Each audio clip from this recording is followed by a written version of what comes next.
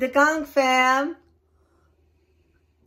We are all here in the kitchen to make a flan.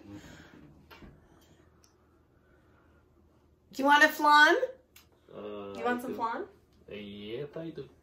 No, he can't because this one is going to be made with um, condensed milk. But if it was made with sugar, I could make it with lactate or lactose-free milk. And like that, he could eat it. But this one is going to be full dairy. So if you are allergic to dairy, please go ahead, change your recipe. Let's get started. So what are some things that you will need?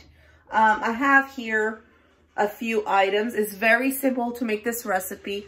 This recipe is not a Portuguese recipe. It's not a Cuban recipe. It's a mix.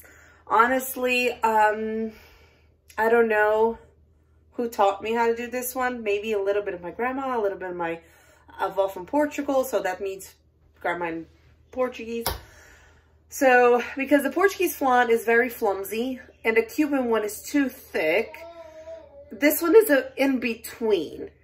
And I will explain to you while I'm doing it why it is like that. But here are the things that you'll need. A tray like this. Uh, this one is a flan, but you can make it with any cake topper. Uh, I mean cake um, batter baking pan. And this one has a top, which if you don't have this, you can get, uh, you can get this on Amazon probably. Um, and you can also cover it with foil. Okay, so first thing you want to do is uh, you want to get like around two cups. I mean, this is half a cup. So you want to get one cup of water in here. So I'm filling it up right now. So it's half cup.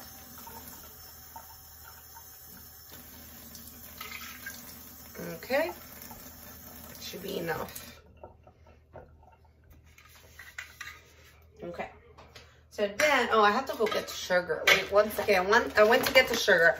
The sugar in the water is for you to make um, the caramel sauce. And you make them from scratch. So you need to put one,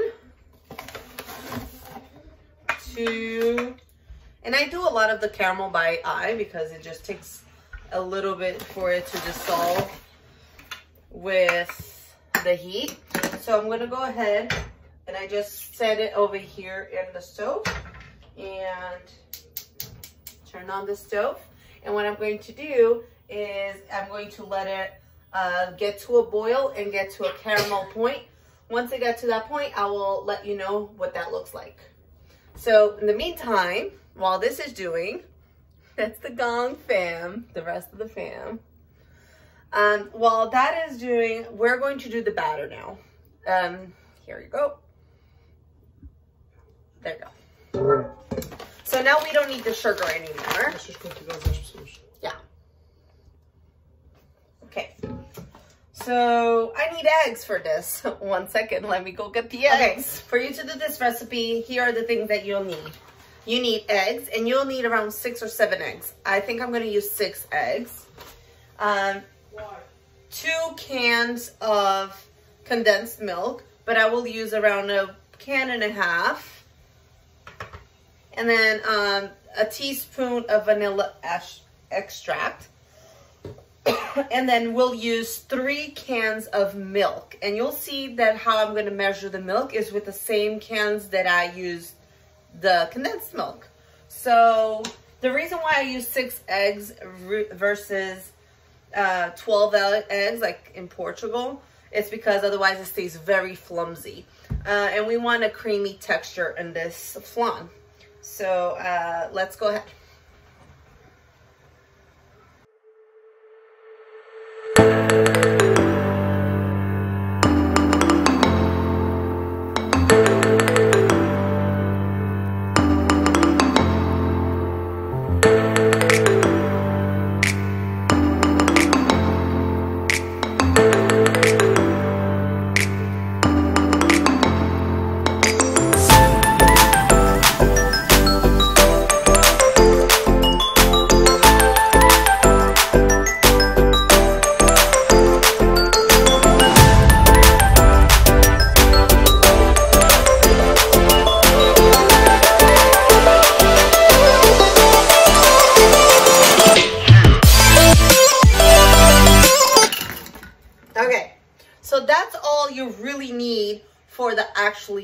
the, the actual flan. Nothing else. It's all done. So now we're gonna look at um, how the caramel is doing. Uh, it takes like around, the caramel takes a good 15 to 20 minutes, maybe 15 minutes. Um, so as you saw, I only put poured in half of the can of one. So I did a, a can and a half, and then I did three cans of milk. And I just poured the whole milk inside, and boom, did it. Okay. Oh, and I used seven eggs, not six. So, okay, uh, it's getting to that point where uh, the it's not a caramel yet, but it's called a pearl point. So as you see, it's not translucent anymore. It's getting that gold color. So it's not ready yet. You still have to um, let it sit there in the stove for a little bit longer. Okay, so now this is very hot, so you have to be careful. I turned off the stove and it became this color. So this is caramel color. So slowly, so you don't burn yourself, you must turn this around. Very careful with this. It's smoking hot.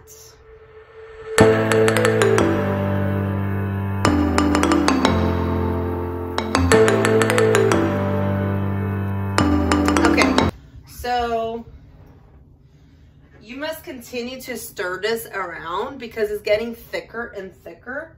So in order for it to get into the walls of the pan, and like that, the flan doesn't stick. This is extremely hot.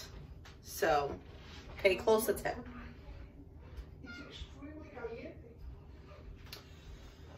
Okay.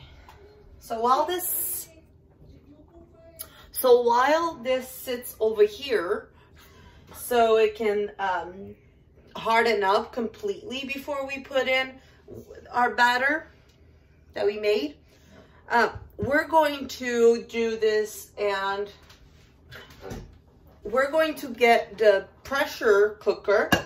Um, you can do this in the oven as well, but your pan needs to have some water and very well covered. I'm going to do this in a pressure cooker because this is way faster. So what I'm going to do is I'm going to fill it with water around over here. So when I put the pan inside and seal it and close the pan, I'll boil it for around 45 minutes and then let it stay. And then from there, it goes to the refrigerator for an entire day. And that's when it's cold and nice and you can put it in a nice platter and the, all the entire caramel will fall down as if it was like liquid and creamy and delicious. So okay, so this now we put pour the solution in here.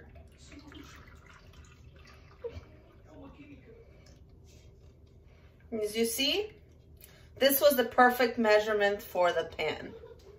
Can get better than this. Now you cover it and we're gonna put it in the pan very slowly.